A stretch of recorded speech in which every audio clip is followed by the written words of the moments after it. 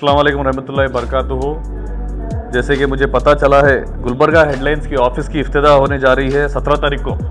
तो मैं वसीम साहब को उनके अहल ख़ानदान को उनके भाइयों को और उनके तमाम दोस्तों को मुबारकबाद पेश करता हूँ।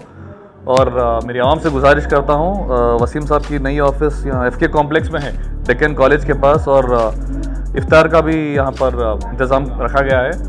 तो मैं मेरे तमाम लोगों से गुजारिश करता हूँ गुलबर्गा हेडलाइंस की नई ऑफ़िस की इफ्तः हो रही है सत्रह तारीख को। तमाम लोग यहाँ पर आइए। फिर से वसीम साहब को और उनके अहल ख़ानदान को मुबारकबाद पेश करता हूँ।